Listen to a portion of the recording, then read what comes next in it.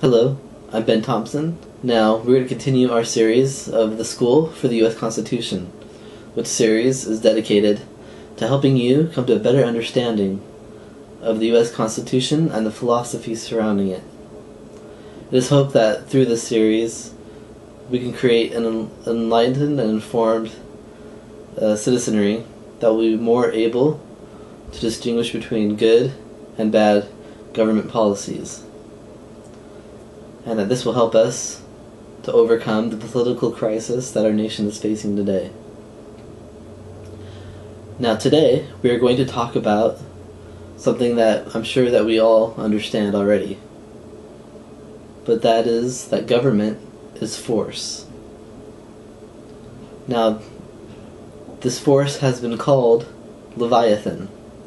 And what is the Leviathan? It is a mythical sea creature that is supposed to be very strong and powerful.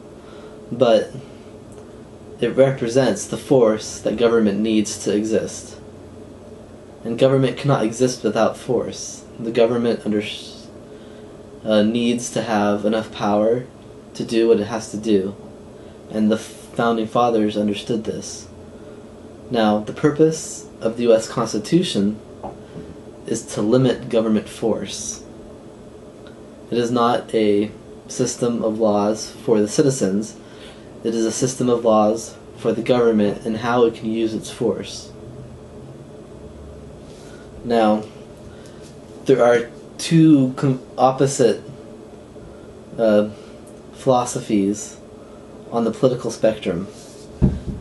And I'm going to draw it out right here really quick. We got on the left side, we have totalitarianism.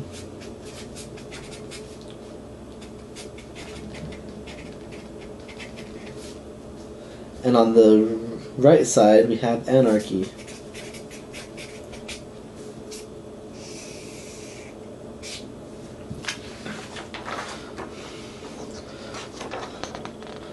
So, this is the real political spectrum.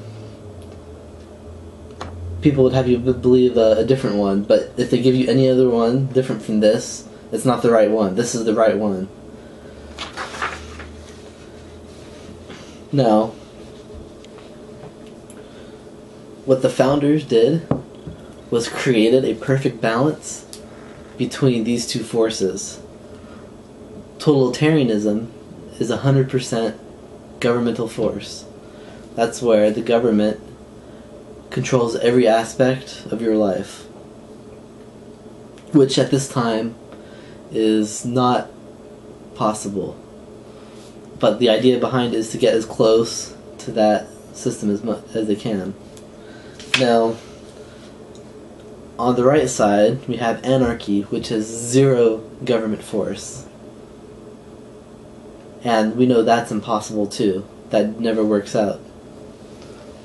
So, what, what the founders did was created a system that had enough force to do what it had to do, and it created a system where people have more freedom. And we call that a constitutional republic.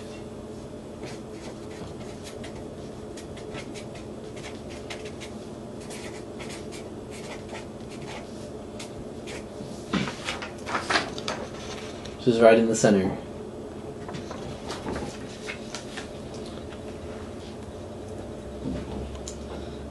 Now, the, the, the, the people today who are educators and in positions of government would want you to believe that we are a democracy. Democracy comes from the Greek word demos and archi, which means people's rule. But the the people who actually understand democracy know that it is actually what we call a negative term. In, in government, we have positive and negative terms. A negative term is one that creates a system where people can be oppressed in one way or another. Democracy means literally that that the majority of people have all the say. And that's not what we are supposed to be. A a constitutional republic is designed to protect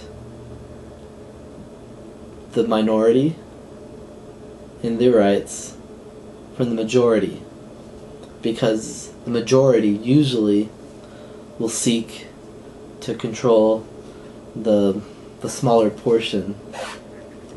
And this has always gone bad.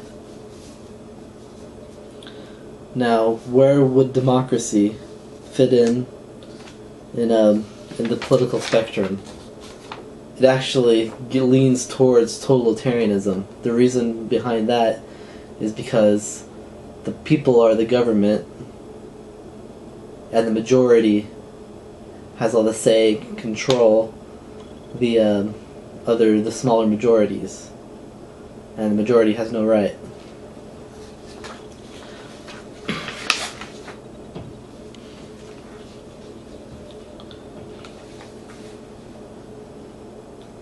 now in understanding more about our constitutional system we have to understand that our, our founders designed this uh, balance on what you could say a pyramid. Now,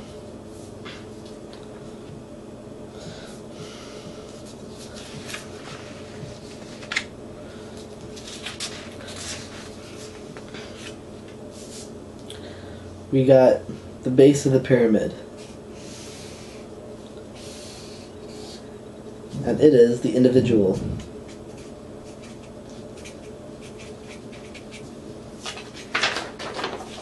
The individual under this system has the, the most importance and the most power.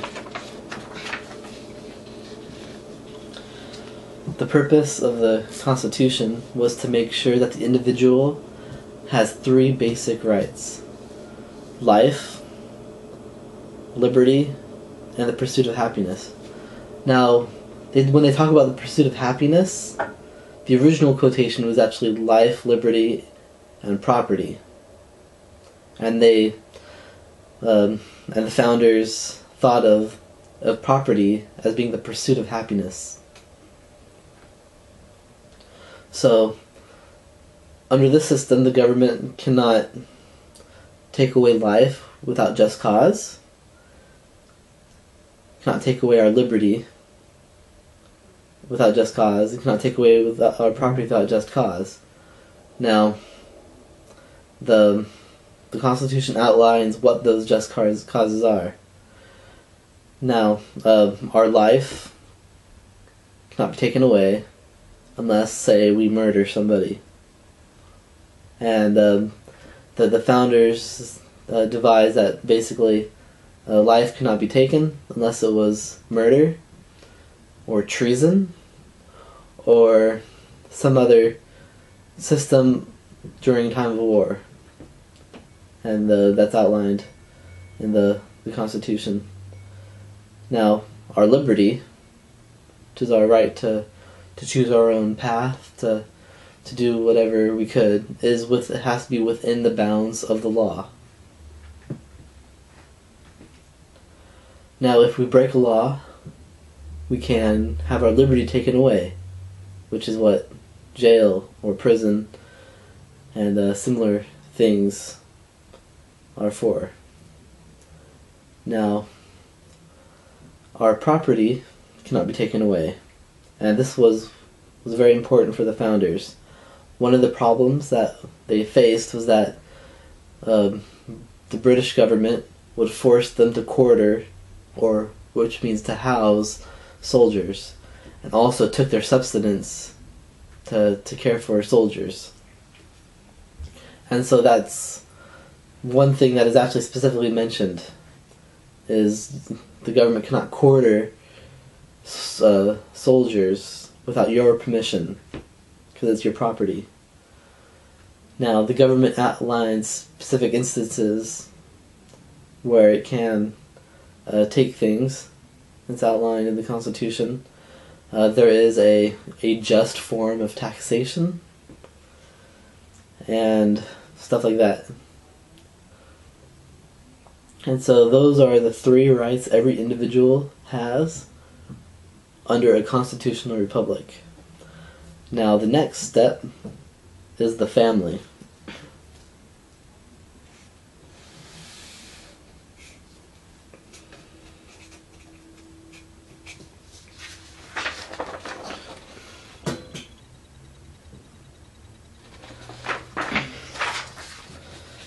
Now, every family was expected to take care of its own uh, needs and to uh, to have its own space and to to to teach their children the rules of the society, and they were expected to um, teach their own moral and ethical codes, and that no one can interfere with that. And so that's why the family is the next step. It takes individuals and unites them using their own uh, free choice. Now, after a family, you have a group of families, which we call the community or neighborhoods.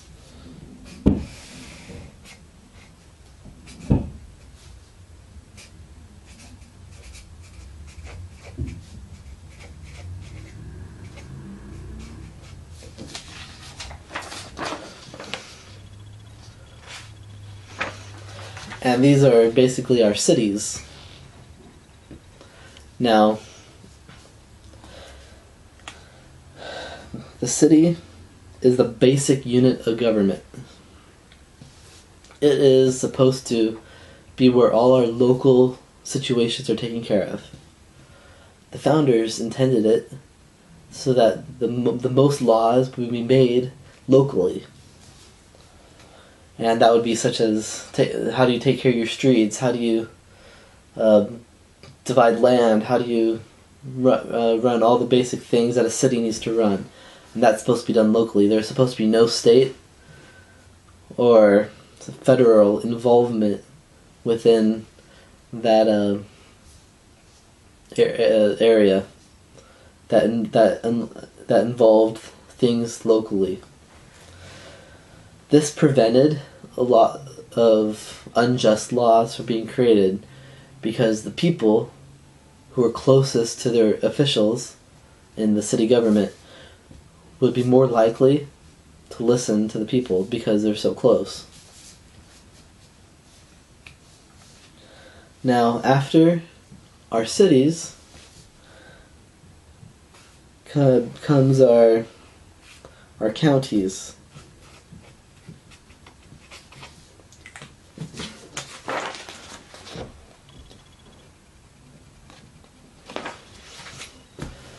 Now, just like a city, a county is a group of of cities. Now, the, the, the term county originates from our English law. And a county was a noble figure, but we've we've rejected the nobility behind it and kept but kept the term. And so these counties are supposed to uh, make laws that deal with uh, situations that are between cities in this region. And by having this locally, uh, cities were less likely to create oppressive laws that the people didn't want. And so, by by having a this next step, it was hoped that uh, people locally with between cities can take matters into their own hands. Now, the next step is the state.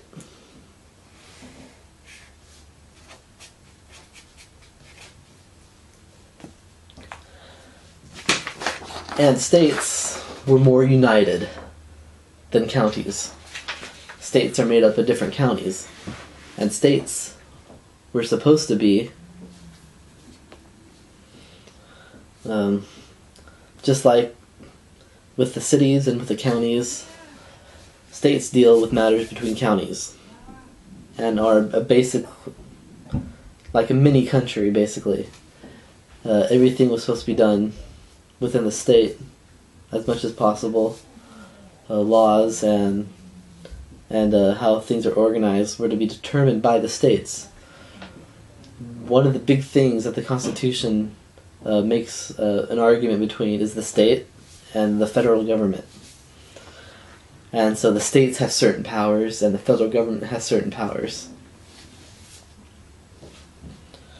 Now, finally, at the top of this pyramid is the federal government.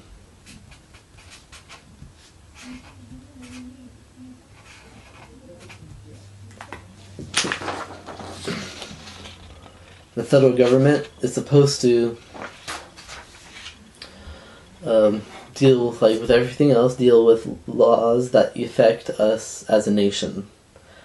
They have some extra powers, such as uh, issuance of money, establishing standards, uh, raising a um, national army, and basically all the, the things that go with on that level.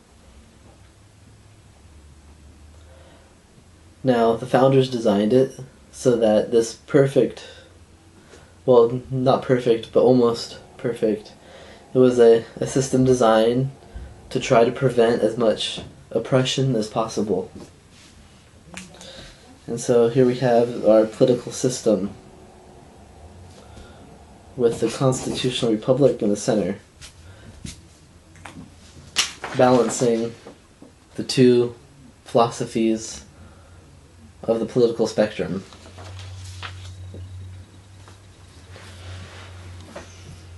Next time we are going to begin our, our talks on each part of the Constitution. Now we're going to talk more about the idea of force. As we said, government needs force, a leviathan, to protect itself and to issue its uh, decrees. Now, the founders designed it so that this force was spread out throughout all the levels of government, from the federal to the individual.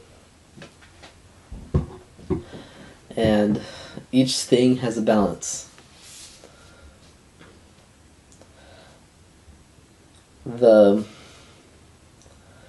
one one of the things they were worried about was having a too large national army, and the reason behind that is that the federal government could use that to oppress the people. So we have the the, the national army on one side, and then on the other side we have the state militia.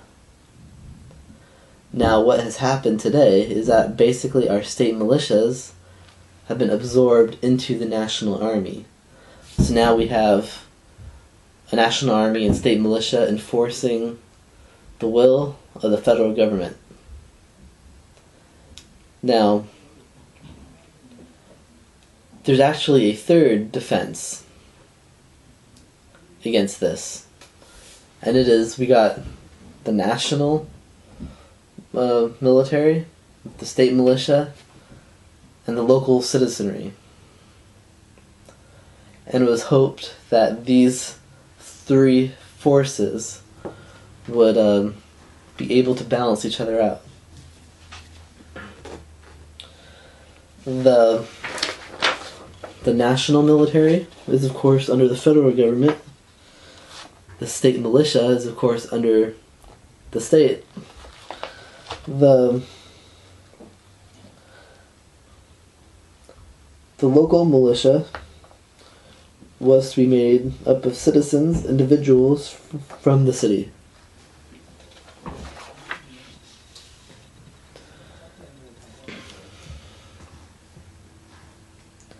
Now, the another example of this is we have um, inter- interstate commerce.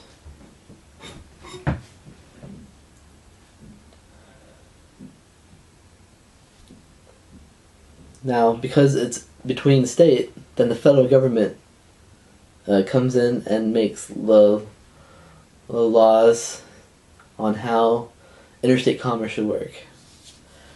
And uh, one of this was the force the states to not do tariffs, which of course is a good thing because it creates a lot of problems. This is this uh, tariff this uh, lack of tariffs makes it so that we can have free trade between the states, and the state says no can say uh, can't say no you can't have free trade here you have to pay our fine. Now, this is to balance out the individual and the state desire to make more money. And the federal government is supposed to balance that out. Now, on the other side, we have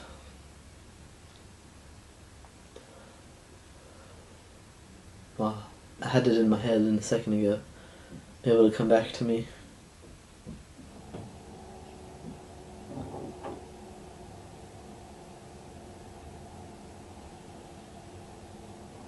Oh well. If I think about it later, we'll talk about it. But um.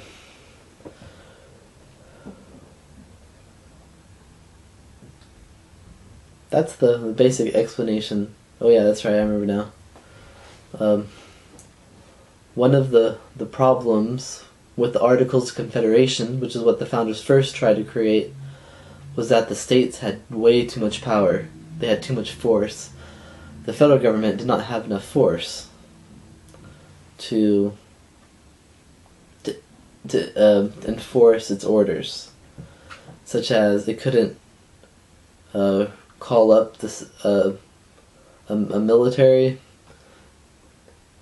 It couldn't uh, enforce taxation, and it uh, it could not create new laws unless there was like a hundred percent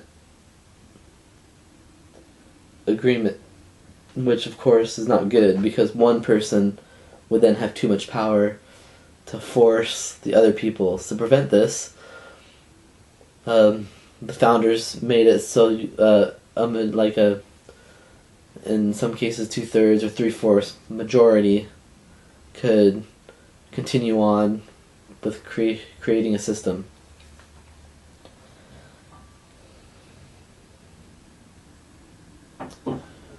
So we understand that the federal government has to have force, but that that force needs to be limited. And by dividing in the force between different groups, this uh, created a a system where it would it was hoped that we could prevent as much oppression and tyranny as possible. Now, throughout the years, this has been slowly eroded away. Um, who can say when this uh, started happening? But one of the earlier examples was when the states forced people who wanted to have uh, plural marriages. When the argument here is not whether it's right or wrong to have a plural marriage. The point was that marriage being a something that's rooted out of religion in the first place, the government had no right to interfere with marriage marriages. And this falls under the First Amendment of the Constitution, saying that the government cannot uh, res- uh, restrict a person's religious belief. Unless, of course, it denies other people life, liberty, and property. Now we are facing, now we have other people who are having the same problem that was had early on in our history, in the early 1800s. And it was that a majority could decide how a people can uh, worship in their religion. And now we're having the argument on whether uh, homosexuals could be married or not. Now, it is not the right of the states or the federal government to determine who can marry who. We're not arguing on a moral ground because that is up to the individual. The individual and families have a right to determine what is moral and what is immoral. Now, the community can speak out against it, but the community cannot force uh, families and individuals to, to have moral thinking. Unless, of course, it denies life, liberty, and property.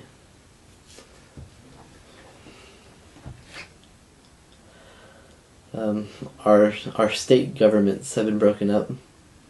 One of the reasons for the United States Senate was actually to protect the states, and the House of Representatives was to protect the individuals within the states. Now, what happened was that uh, they said, let's make it so that the people vote for senators, when originally it was state governments uh, appointing senators for the purpose of protecting the state. Now we have this imbalance leaning towards um, individual, which is actually pointed towards democracy. That's why they did that, was so that they could tilt this towards so they can have us thinking we're a democracy. We're not a democracy, we're a constitutional republic, which is supposed to create a balance between all these different forces in government. Another force is that we have an extremely large national military. Now, there's nothing wrong with us having a military. It is a good thing. We need a military, a strong military to protect us.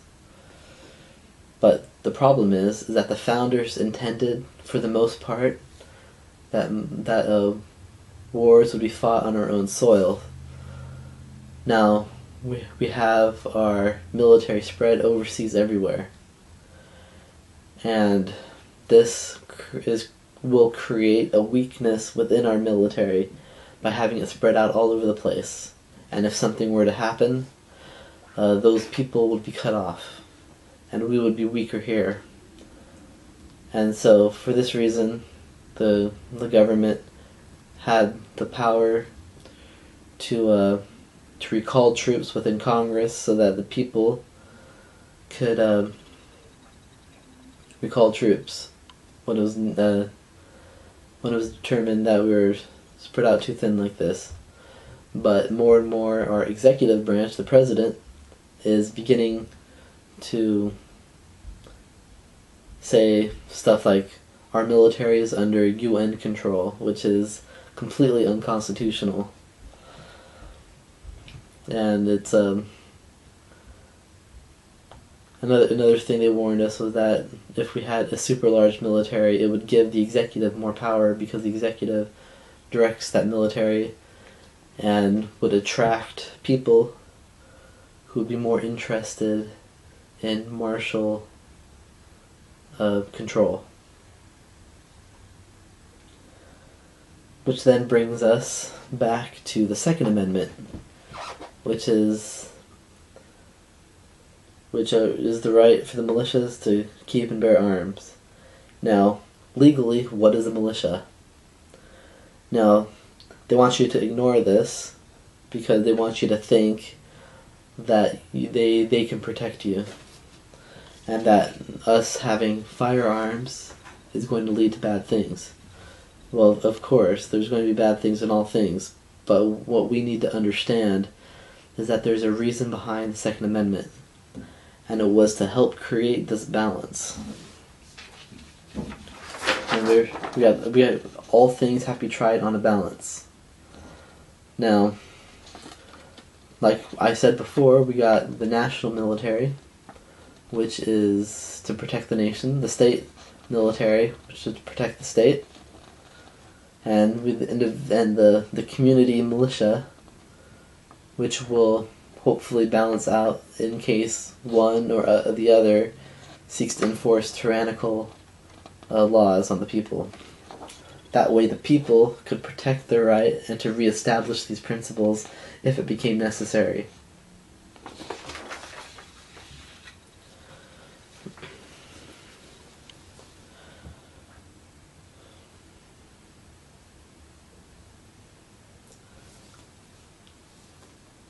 Now they are trying to get us to, to, to take away our firearms slowly and surely.